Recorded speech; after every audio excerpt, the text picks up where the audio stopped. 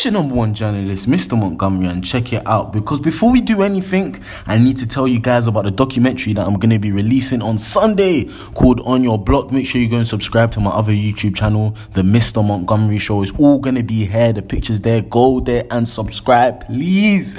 But anyway, guys, um, there's a Bible verse. Um, Psalms 105, verse 15, it says, Do not touch my anointed ones and my prophets, no harm. Um, it appears somebody needs to tell this to Burna Boy because it appears that Burna Boy wants to beat up a pastor.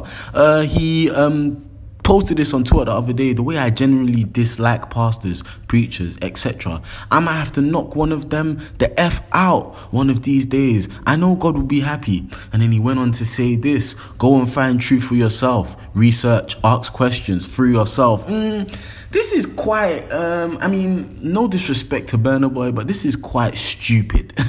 it's quite contradictory. Okay, so he said, I don't like pastors, I don't like um, preachers, blah, blah, blah, etc. But then he goes and says, Go find truth for yourself, research, ask questions. Who are you going to ask questions to? Pastors. So it doesn't make sense with what he's saying. Of course, um, I don't know what pastors he's come across, I don't know what he's saying. Um, personally, for me, I don't believe that every pastor is bad. Don't get twisted. There are some crazy pastors. I've seen on, have you seen that internet of that guy that he's saying, Take it, take it, take it? He's doing Dragon Ball Z just sending fire to people and people just falling on the floor with nothing, no um, um, substance. They're not being told substance. There are some pastors that steal money. We've heard some pastors that take money, that sleep with wives and blah, blah, blah. But in every profession, there's coonery.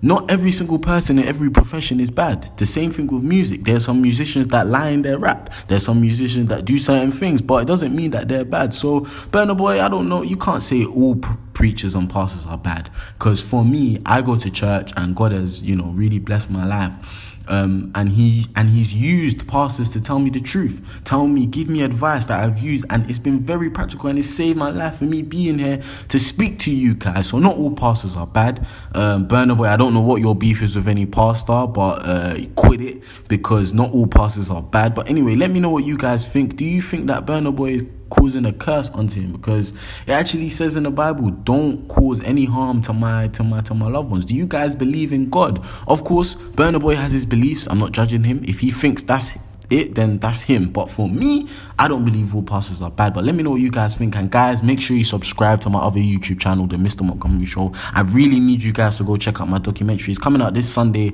at 8 p.m., the 15th of October. I'm going to leave a trailer here. Peace. Music's another way of expressing myself.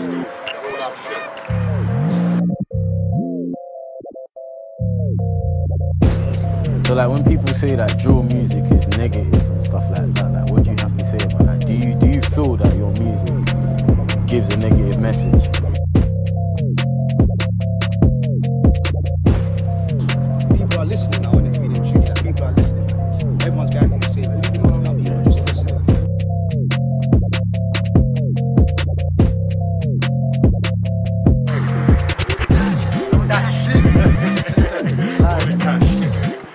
Road speed.